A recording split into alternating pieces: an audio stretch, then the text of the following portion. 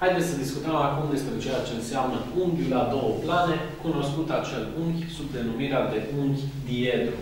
Și avem cele două plane alfa și beta, care cele două plane se intersectează după dreapta D, deci alfa și beta au ca intersecție dreapta D. Avem o dreaptă A inclusă în primul plan alfa, acea dreaptă A perpendiculară pe dreapta comună celor două plane și avem o